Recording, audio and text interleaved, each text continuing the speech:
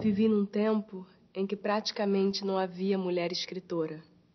Ter até tinha, mas elas eram completamente ignoradas pela crítica. Literatura é coisa de homem, diziam os gênios oitocentistas. Eu fui uma exceção. Embora tenha morrido antes mesmo de completar 25 anos de idade, eu fui uma escritora, reconhecida em vida. Sou uma mulher do interior.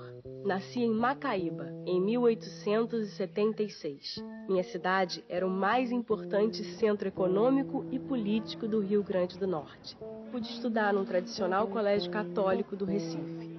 Tive de voltar para casa após ser diagnosticada com tuberculose. Segui estudando por conta própria e lendo tudo o que me caía nas mãos venci a resistência dos círculos literários masculinos. Passei a publicar meus poemas em vários jornais e revistas. Meu primeiro e único livro publicado em vida, Horto, mereceu até prefácio do mais consagrado poeta brasileiro da época, Olavo Bilac. Sou Alta de Souza. Sou uma cidadã negra brasileira. Desce, meu pai. A noite baixou mansa. Nenhuma nuvem se vê mais no céu aninham-se aqui no peito meu, onde chorando a negra dor descansa. Disse Alta de Souza.